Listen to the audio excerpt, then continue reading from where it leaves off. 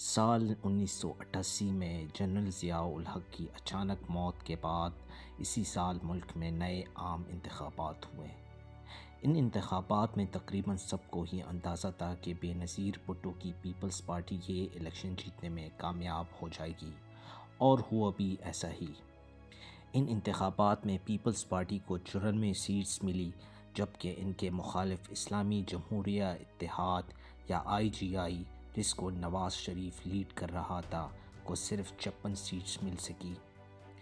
इसका नतीजा ये हुआ कि बेनज़ीर भुट्टो पाकिस्तान और इस्लामी दुनिया की पहली खातून सरबराह हुकूमत बन गई।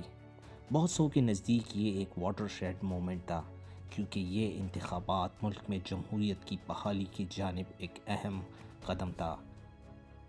लेकिन पीपल्स पार्टी जो ख़ुद को लिबरल या सेकुलर या लेफ़्ट विंग की जमात कहती थी, का इस तरह से इकतदार में आना एक बहुत बड़ी तब्दीली थी।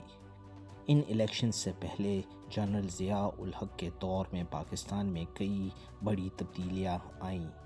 ज़िया उल हक की इस्लामी सोच थी और इसके दौर में मुल्क के निज़ाम हुकूमत, माशरती तौर तरीक़ों को एक इस्लामी रंग में डालने की भरपूर कोशिशें की गई।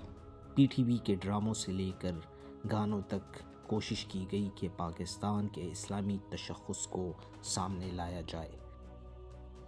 इसके साथ साथ लाखों अफ़गान महाजरों की बग़ैर किसी कंट्रोल पाकिस्तान आमद भी पाकिस्तान को एक मुख्तलिफ़ कल्चर में ढाल गई। ज़ाहिर है, अब पाकिस्तानी फ़ौज भी पाकिस्तान ही का हिस्सा है। वो इस कल्चरल चेंजेस से दूर नहीं रह सकती थी और इस पर एक इस्लामी रंग गालिब आ गया था। ज़ियाउल हक के दौर में ही पाकिस्तान के न्यूक्लियर प्रोग्राम पर बहुत तेज़ी से काम जारी रहा।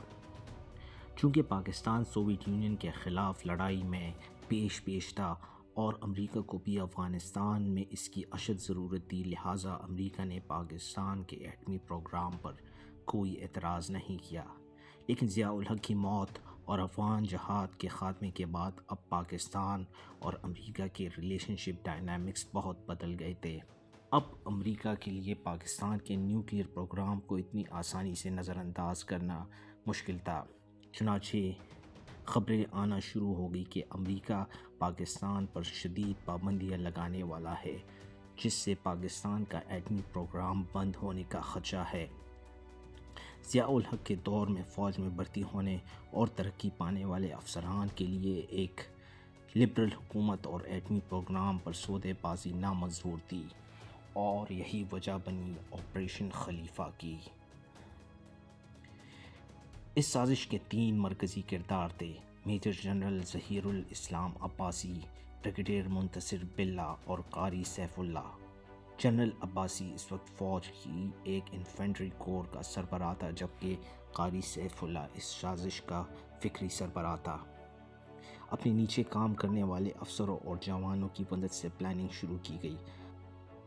प्लान कुछ यूँ बनाया गया है कि जब बेनज़ीर भुटो की हुकूमत जे एच क्यू आएगी तो वज़ी अजम Benazir Bhutto army chief general Waheed Kakar, senior विफाकी वज्रा और जनरलों को एक साथ कत्ल कर दिया जाएगा, जिसके बाद फ़ौज की कमान मेजर जनरल जहीरुल इस्लाम के पास आ जाएगी और वो मुल्क में इस्लामी कानून का नफाज कर देंगे।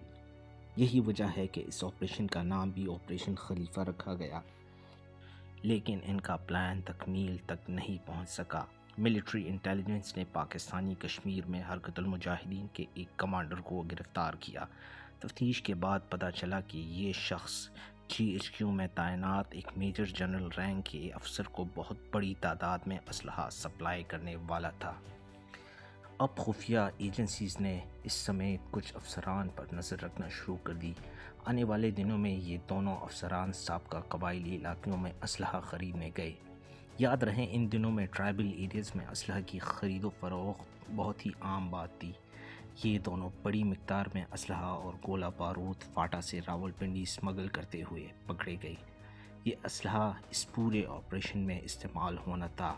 अली कुली खटक, जो इस वक्त मिलिट्री इंटेलिजेंस के सरबराह थे, ने आर्मी चीफ को इस मंसूबे से आगाह किया, जिसके बाद आर्मी चीफ ने छत्तीस फौजियों और बीस सिविलियंस को रावलपिंडी, इस्लामाबाद से गिरफ़्तार कर लिया। इन तमाम लोगों का मिलिट्री कोर्ट्स में ट्रायल किया गया। ब्रिगेडियर बिल्ला को सबसे ज़्यादा, यानी पंद्रह साल, जबकि जनरल अब्बासी को सात साल कैद की सज़ा सुनाई गई।